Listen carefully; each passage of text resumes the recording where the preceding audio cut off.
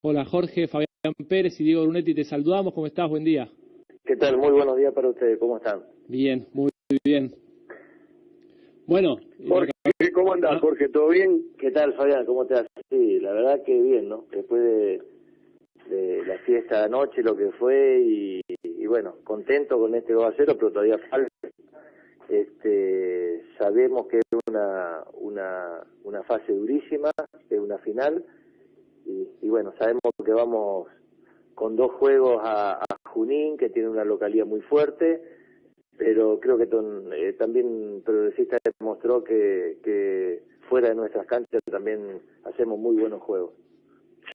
Eh, yo me quedé ayer en el cierre de la transmisión, me quedé con las palabras de Cristian, de Schoppler, este, que Carlos Altamirano, bueno, eligió como el jugador más importante, el jugador más valioso, eh, yo creo que junto a, o sea, todo el equipo estuvo bien, pero creo que junto a Dilligar que tuvo una noche espectacular, goleando y metiendo tapones, tomando rebote, la conducción de Cajal que fue este fundamental, lo que siempre aporta Lisandro Racio, se le abrió, se le abrió el aro a, a Gonzalo de la Piborde, bueno, todo lo que aportan cada uno de los muchachos que tenés en el equipo.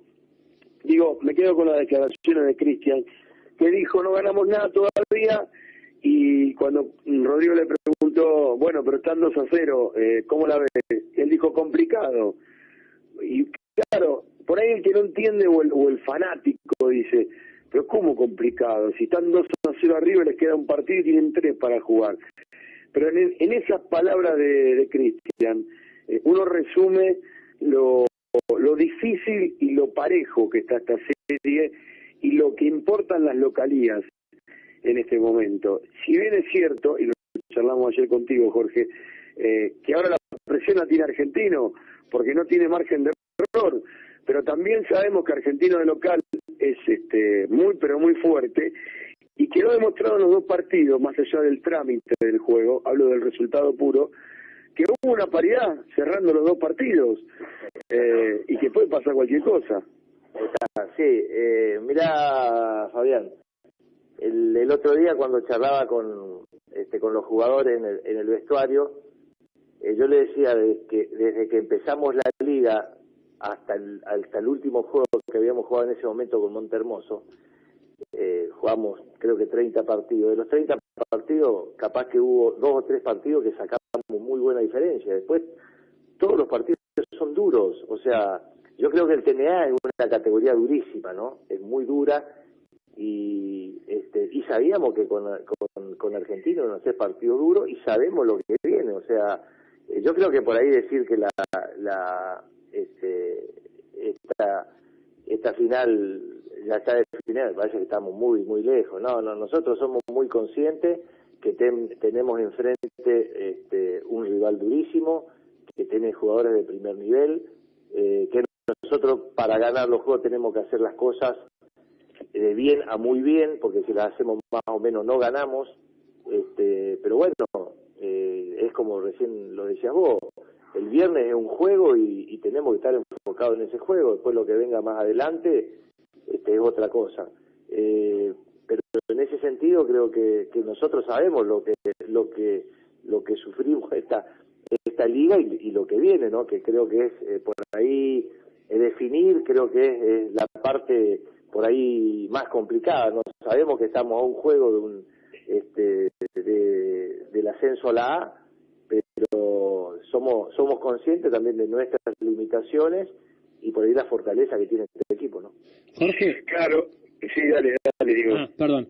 Eh, Jorge, en los dos partidos que se jugaron hasta el momento de la definición, ¿hubo alguna similitud en el hecho de que los dos parecían que lo terminaban llevando sin sufrir final, con buenas ventajas, y en los dos se les puso en juego argentino en los últimos minutos.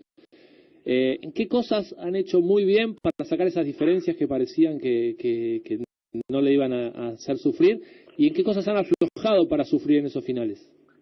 Eh, mira, eh, yo creo que en estos dos juegos, eh, aunque todos los juegos son totalmente distintos, ¿no? Sí. Eh, yo creo que el progresista eh, en el primer cuarto del primer partido, que lo ganamos 27-12. Sí.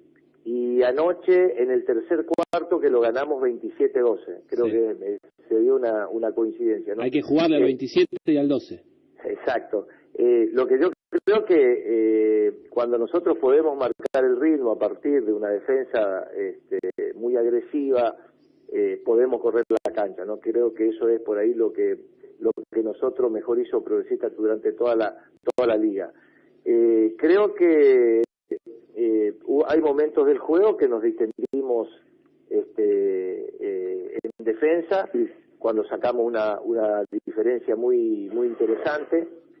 por ejemplo, con los triples de, de Cancelosi, nosotros después en el video vimos las ventajas que dimos con Cancelosi, que eso es, sabemos eh, sabemos lo que, es este, en el terreno de, los tres puntos, creo que es un jugador temible, ¿no? Eh, anoche nosotros, yo sabía que lo íbamos a defender bien a Cangelosi, que creo que nosotros en ese sentido el primer partido lo habíamos, este, no lo habíamos defendido bien. Eh, lo único que yo les pedía que otros jugadores no salgan a, este, a sacar eh, la cara por Cangelosi, que, este, que nos había complicado mucho. Eh, yo creo que en los últimos minutos eh, nos volvió a correr lo del primer, lo del primer partido este, los últimos minutos llevamos una diferencia muy 12, 14 puntos, creo que este, volvimos a extendernos en defensa. Eh, es cierto que ellos, eh, si ustedes miraran el, el, el, video, los últimos, creo que 8 o 9 días de ataque no erraron ni una bola. Sí, tiros difíciles. No, eh, eh, lo mismo que el primer partido, los últimos, los últimos 3, 4 minutos no erraban, no erraron ni una, una efectividad del 100%, y bueno, esto creo que eh, son finales y, creo que hay momentos que la presión se traslada, se trasladó hacia nosotros, lo que nos hizo hacer que no, que no hagamos ninguno de los dos juegos, tuvimos muy buenos cierres. Eh, de todos modos, este, eh, sabemos que depende de nosotros, que este, nosotros lo más importante de todo, que tenemos que tratar de marcar el ritmo que propone el progresista, y hay momentos que nos neutralizan, ¿no? Pero bueno, este, es lo que cada uno, cada equipo propone. Estamos hablando con Jorge Lovera, Chapito, eh, ex jugador de Unión. Eh, ayer había varios ex compañeros tuyos en la cancha, viendo el partido.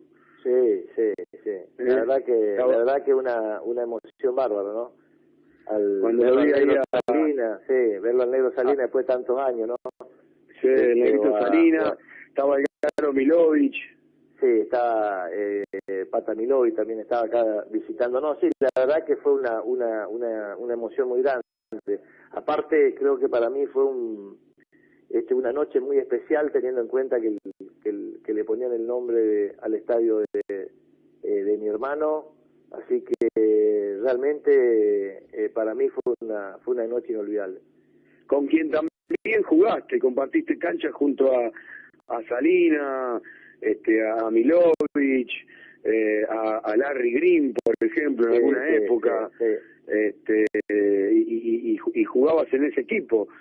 De, en el viejo progresista que, que, bueno, que tuvo los logros de la categoría del ascenso la, a la máxima categoría. Imagino que también para vos, Jorge, este, debe ser todo muy especial, porque sos un tipo de club, con jugadores del club. Ayer me contaba Orlando Salinas, por ejemplo, que cuando él ya estaba jugando en primera, había un, mocosito rubio que vivía al lado del club, que, que picaba la pelota todo el día y que estaba todo el día en el club tirando al aro y, picando la pelota, que era este Cristian Schoffler. Y, y dice, y verlo jugar ahora, eh, la verdad me, me, me, emociona mucho. Me contaba eh, Orlando Salinas, con quien tuve una gran relación cuando vino a jugar al Deportivo San Andrés y después nos quedó, bueno, eh, eh, una amistad que perdura en el tiempo.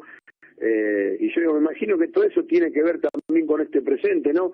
Porque la mística hace que, que, que el cuerpo y la cabeza siempre dé un pasito más de lo que habitualmente uno da por algo que no tiene tanta mística o que no siente tanto, ¿verdad? Así es. Eh, vos sabés que, bueno, el caso de Pitu Schopler, eh, Pitu vive pegado a, pegado a, al club, a Unión Progresista, lo mismo que Pepa Valle. Pepa Valle vive a 30 metros del club. O sea, eh, yo los conozco a los dos que que tienen dos o tres, o sea, este, vivían en vivían en el club, o sea, eh, uno tiene una relación muy especial y, y por ahí creo que eso sea una química y, progresista en ese sentido, eh, creo que después de, de, muchos años, muchos años volvió a, recuperar su mística y creo que bueno, en esta, en estos partidos finales que ha demostrado el, la pasión y el fervor de la este, de la cancha y yo creo que los jugadores es una de las cosas que yo siempre digo, ¿no? Que los, los equipos este, eh, por más que tengan jugadores, son jugadores profesionales, pero creo que ese espíritu amateur y, y, y sobre todo este, la identificación de los jugadores con su club, con su camiseta o con su ciudad o con su provincia, creo que le dan un plus muy importante a, a los equipos, ¿no? Eh, qué, sé yo, creo yo que uno si toma memoria de Atenas de Córdoba, creo que el jugador, aunque no era de Córdoba, se ponía la camiseta de, su, de esa provincia o, o lo que o por ahí eh, estudiantes de Bahía Blanca, ¿no? Eh, creo que le tratan de dar una este, un, un de pertenencia que creo que le da un, un plus al equipo, ¿no?